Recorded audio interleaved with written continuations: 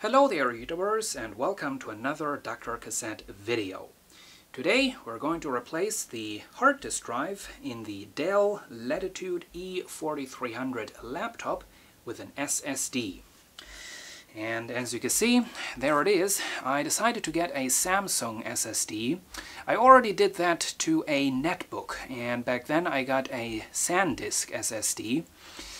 However, they didn't have SanDisk in the store, they only had Samsung, so I had to get a Samsung. I'm not a huge fan of Samsung, to be honest. This is a 120 gigabyte SSD 840 series model, and uh, we're going to put that into the laptop. So, let's get started. The first thing we definitely want to do is we want to remove the battery, because we don't want to turn this thing on accidentally. So let's take that out. There it goes. And now the access panel for the hard disk drive is located right there. And there are two screws, one there and one there, that we have to take out. So get yourself a screwdriver that fits the screws. Very important. You don't want to uh, mess up the screws by using uh, screwdrivers that uh, are too small or too big or whatever. So take out the screws, a little tricky, don't lose them, put them to the side into a safe spot.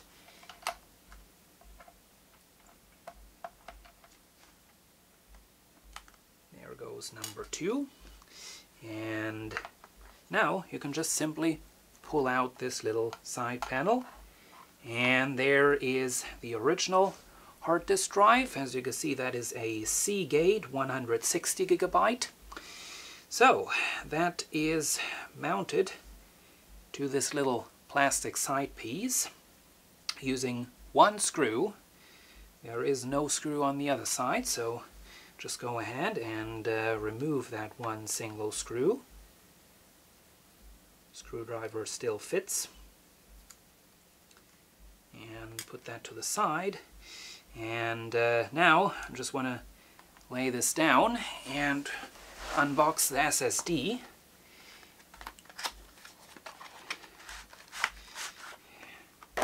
There it is. As you can see, we got some uh, software on a CD-ROM. Got all the all the manuals, I guess. Uh, some stickers to put onto your computer housing.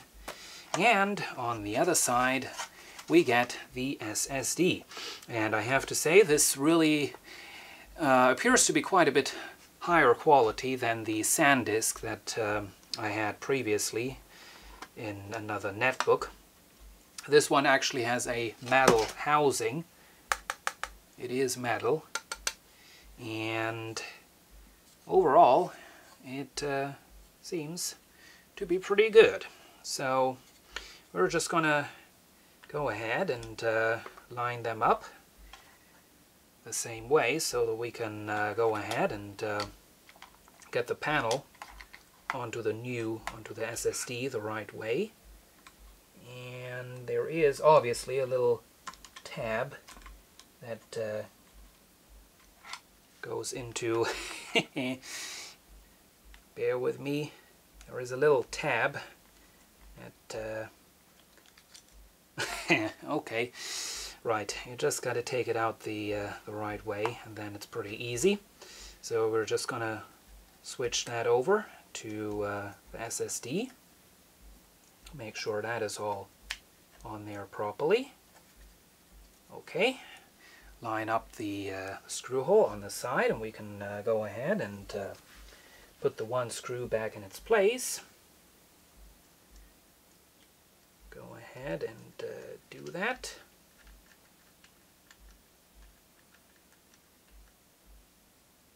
Okay, don't tighten that down too much, you don't want to break the plastic. And uh, yeah, double check that uh, this is all lined up right here. In this case it isn't. Okay, little plastic tab didn't want to go down. Okay, there we go. Make sure that little tab is all the way down in the screw hole. So uh, hmm. little bit of a cheap solution as it seems. Now we want to go ahead and uh, put the hard disk drive into a safe spot and uh, in this case I'm just going to drop it into the box of the SSD. That way I won't lose it. So now we just go ahead and uh, slide the SSD into the housing and that is a little bit confusing. Okay, right. The first time I put it in, it would just uh, slide down and uh, it would just, uh, it wouldn't uh, go onto the actual socket. It would just sit in there. So you do want to make sure to uh, get it plugged into the actual socket inside of there. So that is, uh, that's important. Okay, there goes screw number two. And now we're pretty much done. So make sure, yep, that's all lined up properly. The slot. Now we can pop the battery back in its place, like so. And we're ready for a test. So let's go ahead and uh, go ahead and turn it on, see what happens.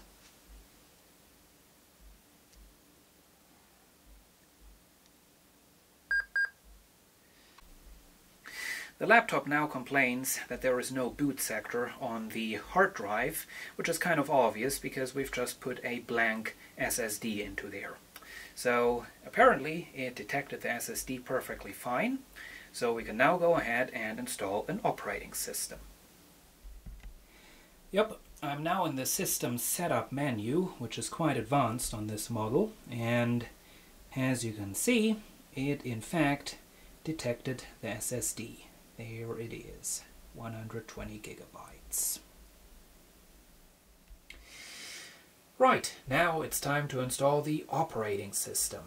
And this laptop originally came with Windows Vista Business, and I have to say I don't like Windows Vista, for obvious reasons I guess. So what I'm going to do is I'm going to put Windows 7 Professional onto this laptop. Uh, I got a version of Windows 7 Professional through the Microsoft DreamSpark program. That's a thing, if your university is a member in that program, students can download all kinds of Microsoft software completely for free. And uh, among that software is also Windows 7 Professional. So here we go. I already burned a an image to a DVD and uh, got that loaded into the system. So I'm now going to restart the computer and press F12 real quick so we can get the uh, boot menu and select the DVD drive and see what happens.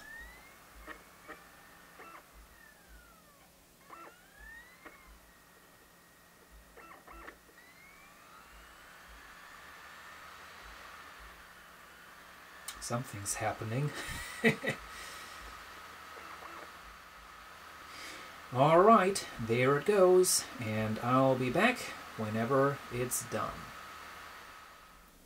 And there it is, Windows installed successfully, and now, of course, it's downloading all the updates. So, hope you've enjoyed this video, and see you again soon.